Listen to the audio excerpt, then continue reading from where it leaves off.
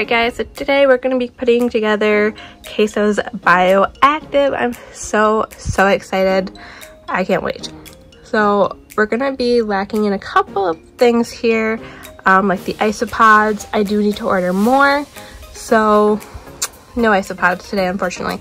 But we're going to go ahead and get the bioactive part started. So, first things first, you guys have already seen this background in a video. I've got my iHeart Geckos conversion door on here. This is a 20 gallon tall tank. I was gonna put her in an 18 by 18, but I feel like there wasn't enough floor space. So this is actually 24 by, I forget what, 16 maybe? Um, so it's more floor space than an 18 by 18 Exoterra. So already I've got a light installed up here. This is one of the lights from Walmart, just like I have in Chalupa, not Chalupa, in Calypso and Kahlúa's tubs. Um, so I did put it on the outside, just above on the rack. So we'll see how that does for the plants and whatnot. I will be putting a heat mat in here, right under here in her hide. So we're to be attaching that and then we're going to be getting started. So I did move this part over because as you saw in that video, um, this ended up being a little bigger once I put all the grout layers on it, so it doesn't fit where it's supposed to go. Um, and I kind of wanted to limit how many nooks and crannies there were for her to fall in or get trapped in. So I did move it over um, because it fit under here pretty well. So it's just gonna stay there and there's be an empty spot over here that she can hang out in, but whatever. So the mix I'm using for the bioactive substrate is a DIY mix. It is uh, about 50% organic topsoil and 50% play sand. I did also want to mix in excavator clay, but when I went to the pet store, they didn't have any. And then to order online, it wouldn't have gotten here very quickly, and the shipping was expensive. And I've seen a lot of people just do this mix, which is what about 95% of my enclosures are right now. I like absolutely love mixing topsoil and sand. I I don't know what it is about it. I just absolutely love it. And I swear by mixing substrates. I'll never use a single substrate unless it's like aspen. I always mix my substrates. So this is what we're doing. We're doing um, play sand and organic topsoil. Eventually I'll probably redo it and use excavator clay, but for now I'm working with what I've got. I also considered using a um, Biodude mix, and I really wanted to. I had it in my shopping cart and everything, but his um, his mixes are a little more expensive because of the shipping. So for now, I decided this is just my first go at doing bioactive enclosures. I'm just gonna use what I've got, keep it simple,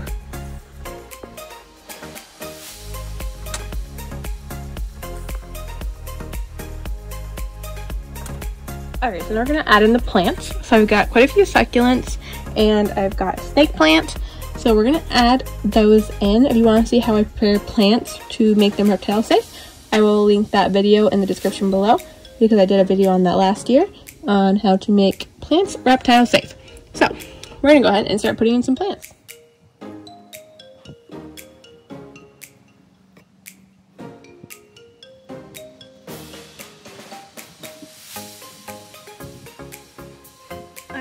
And that is it for day one. I still have a lot to order, but I wanted to go ahead and get the plants I had in so I could start rooting. And yeah, I like to, it's probably going to end up kind of like Pip's enclosure. I'm going to keep adding a little more at a time and build it up over a while. Um, because I do like to give the enclosure time to establish before putting the animal in. So I want to get that process going as soon as I possibly could.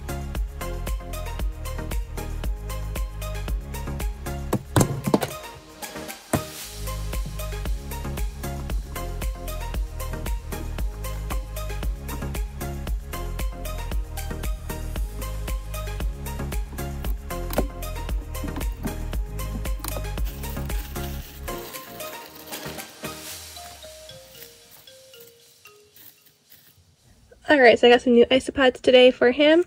These are just some powder oranges that we're going to be sticking in. And I got some temperate springtails as well from Glass Box Tropicals. So I just put those in as well.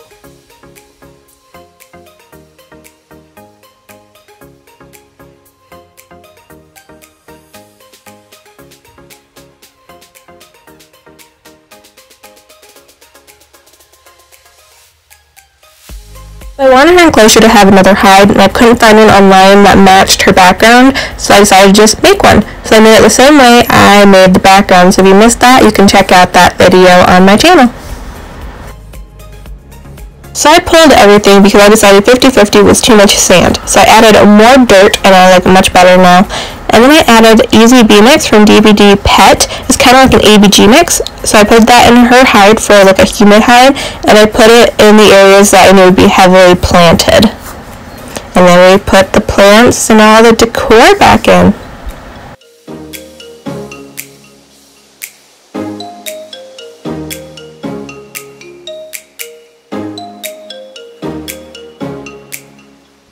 Yay! We're putting Queso in her new enclosure. Queso, do you have anything you'd like to say? No? Alright, do you want to go check it out? I don't even know where to put you right now. There's so much going on.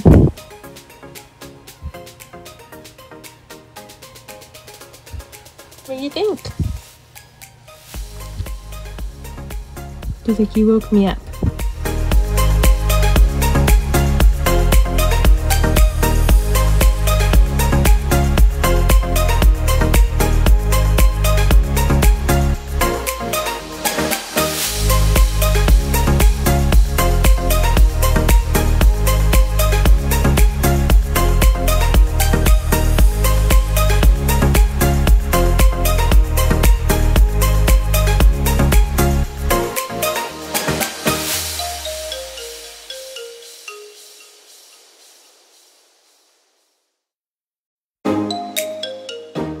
We swapped out the food dish for the other one that she had. It's smaller, it fits her better.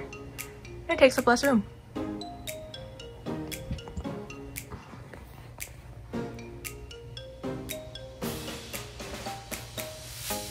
Where do you think you're going? I put plants over there so you wouldn't go in that corner. Is that where you're gonna go hide?